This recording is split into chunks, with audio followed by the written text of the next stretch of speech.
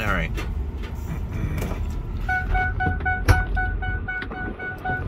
I want you guys to fully understand. Um, I know I'm just videoing something. You're fine, buddy. Thank you so much. Um,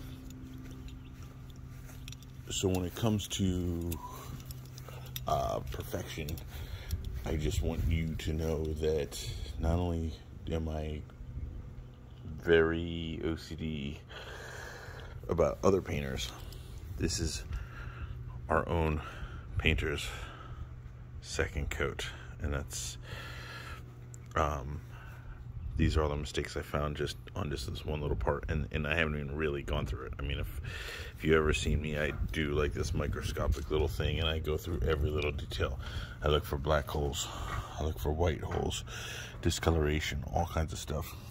Um, so when we talk about paint, um, see that stuff that can happen via sprayer, that can happen between a low nap roller, that can tell you why this is happening. It's happening because the painter who we have, and he has, um, I think he's 70 something years old.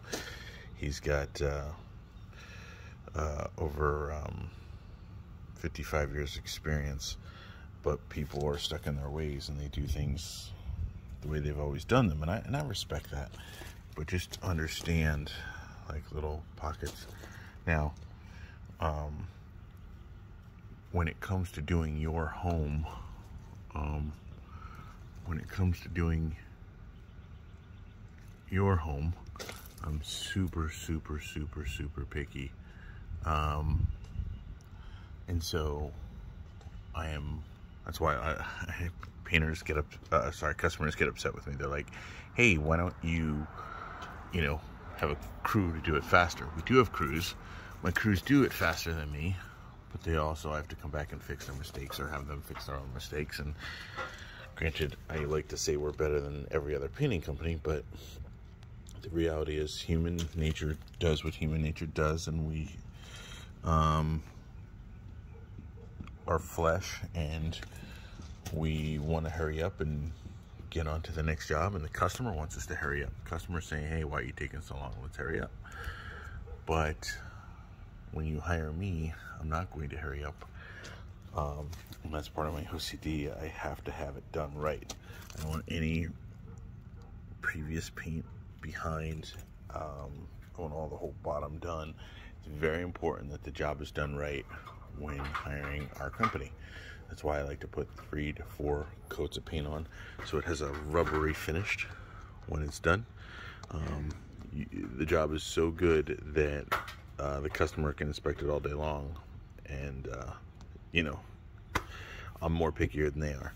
Um, if we make mistakes and sometimes we do um, we look to fix them.